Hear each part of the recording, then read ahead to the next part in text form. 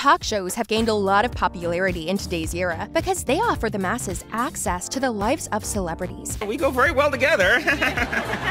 yes, let's get closer, shall we? There is no shortage of talk shows in 2021, and these talk shows are hosted by some of the funniest people on earth. At this point, but he's been sent down rivers, he got mauled by a bear. Like, this was all things we did to him during filming. In today's video, we are going to show you some of the funniest moments in talk show history. I, but I heard that you were. Ah!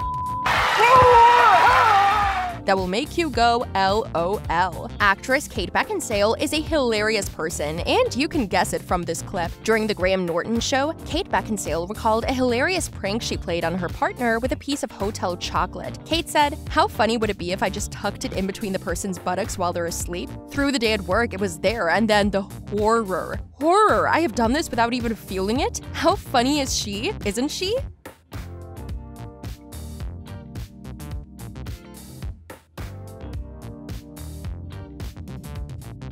Conan O'Brien has been famous for being funny and kind, but flirty as well. When model Miranda Kerr sits down on the couch during this amusing footage from Conan O'Brien's show, Conan exhibits his perky and flirty side. He was like, Yes, you look stunning, and that is a magnificent dresser into which you've been dipped. Let's come closer, shall we? You can depict by his attitude how flirty he is. We go very well together.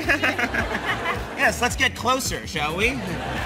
Um, in this clip, you can see Chris Tucker talking about his humbling experience in China with his Rush Hour co star Jackie Chan. He says that Jackie took care of all of us. We went to a different hotel every night. Chris further mentioned that Jackie owned everything there. At every hotel, he would ask, You like this hotel? This is my hotel. Chris amusingly said that he told him, It's my movie. I wanted to go to China and I couldn't back out of it. He said, You know Jackie Chan, Daddy. You own everything. He's like, You like hotel? He said, You like hotel? I said, Yeah, it's my hotel. That's my hotel. No. Yeah, that's came to see you. What do you think I'm over here for? You're the only person I know in China.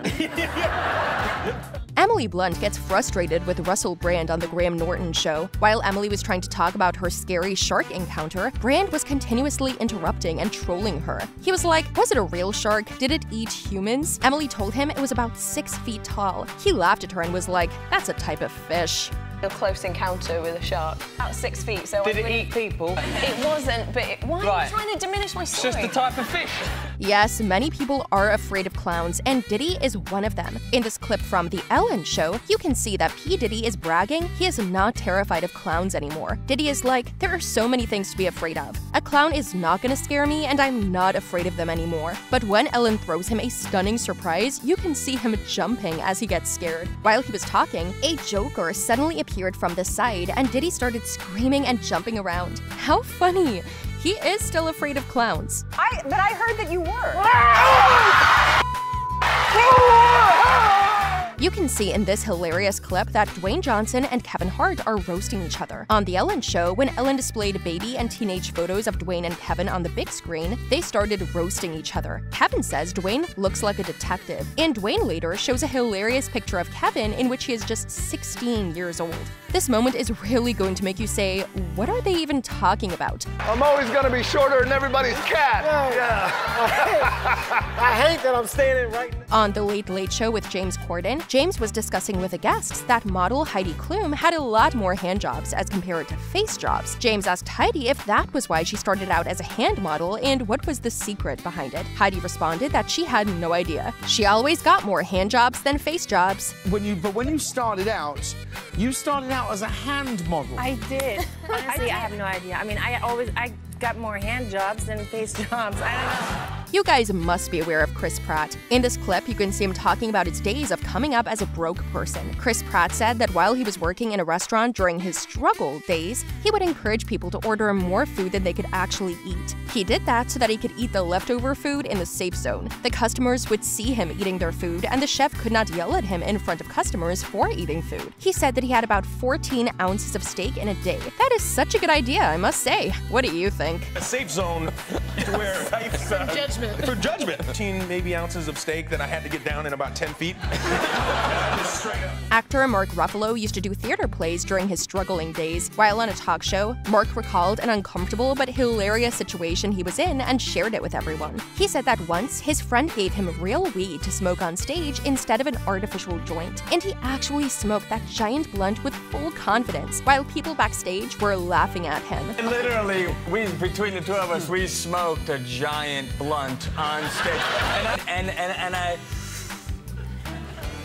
Why's that dude standing backstage laughing at me? Will Ferrell is one of the most successful actors, but Kevin has some other thoughts about him. On a talk show, Kevin was talking about Will Ferrell and that he is such a talented actor and nice guy. But Kevin told everyone that he is also one of the cheapest people, despite having so much success and wealth. Kevin said that Will always showed up at work with the most amazing attitude, but he did not spend a single penny. Kevin further said that Will has still got the first ever Blackberry, and despite it being in such bad condition, all tapped up, he is still using it. Oh my God, Will doesn't, I don't think Will has spent the penny. I don't think he's spent anything you might remember the dead body from one of the Daniel films. Once on The Graham Norton Show, Daniel Radcliffe brought his custom dead body dummy from his movie Swiss Army Man. The dead body was really creepy and it shocked the guests as well as the audience. At this point, but he's been sent down rivers, he got mauled by a bear. Like, this was all things we did to him during filming. How would you guys have reacted if a dead body dummy was placed in front of you?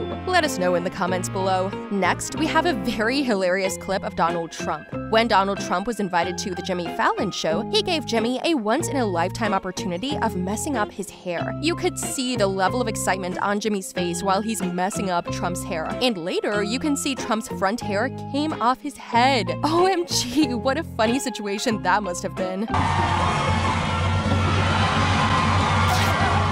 In this clip from The Graham Norton Show, you can see that Nicole Kidman lightheartedly calls out Graham for being provocative. During the show, Graham brings up a picture of Nicole Kidman kissing Alexander Skarsgård. At this, Nicole told Graham gaily that he is so provocative, and why is he showing that? She also said that she kissed her husband too, but Graham hilariously pointed out that her husband actually stood there watching while she kissed Skarsgård. So provocative, Graham.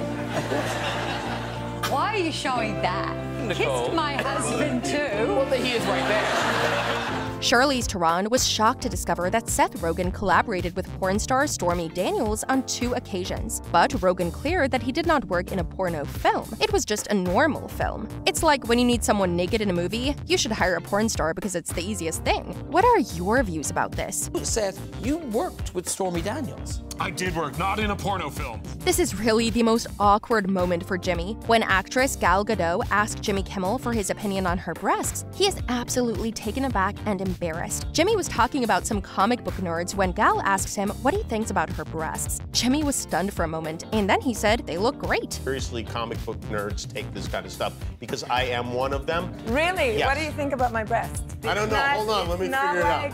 like- okay, so figure it out. Alright guys, that's it for today's video. Hope you guys enjoyed it. Let us know in the comment section which of these funny moments you enjoyed the most. Be sure to hit the like and subscribe button. We'll be back soon with another video. See ya!